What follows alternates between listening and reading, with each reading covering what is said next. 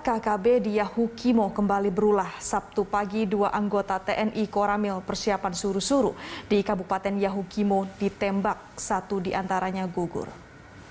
Dua personil yang tertembak yakni dan Ramil Persiapan Suruh-Suruh Kapten Infanteri Arfiandi Sukama, Sukamta dan seorang anggota atas nama Sertu Ari Baskoro.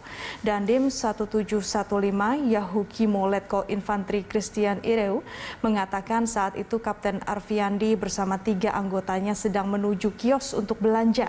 Tiba-tiba mereka diserang dari arah sungai di sebelah kanan jalan.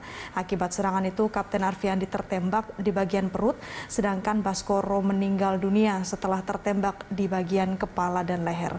Sedangkan dua anggota lainnya, Serda Trifahmi Wijaya dan Serda Bayu berhasil lolos.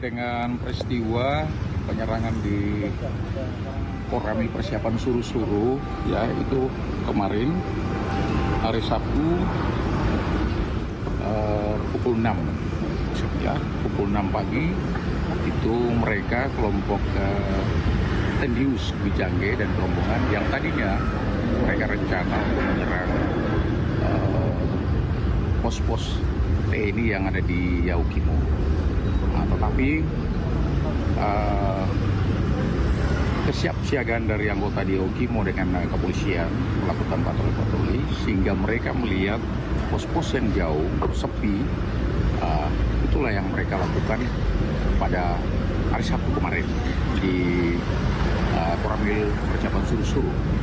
Dan di situ mereka melakukan penyerangan. Dua anggota dari Koramil Suruh-Suruh yang uh, kena satu dan kami persiapan suruh-suruh Kapten Abian Abianto